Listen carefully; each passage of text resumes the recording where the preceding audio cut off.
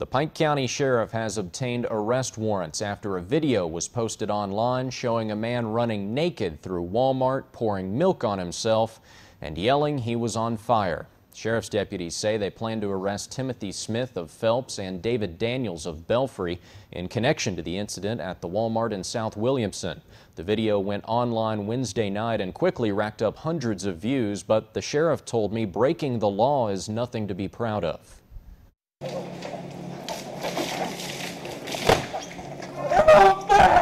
Walmart shoppers saw more than they were looking for when a man stripped down and ran through the store in nothing but shoes, socks, and a Halloween mask. I wouldn't want to go in Walmart and see, you know, somebody walking around naked or running around naked. Uh, so, you know, they they need to go. They need to go to jail. Pike County Sheriff Rodney Scott says the streaker and camera operator are both guilty of indecent exposure, and he believes the prank was planned.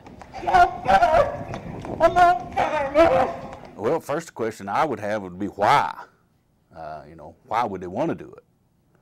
Um, but second, yeah, you know, he, uh, they can go to jail, and uh, they will go to jail. The sheriff admits the video probably garnered many laughs, but indecent exposure is no laughing matter.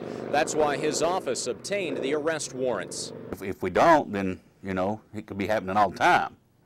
So, you know, that, that's why it's important to uh, go ahead and uh, make these arrests. Sheriff's deputies are trying to track down the getaway driver who waited for the streaker to get into the car before driving away.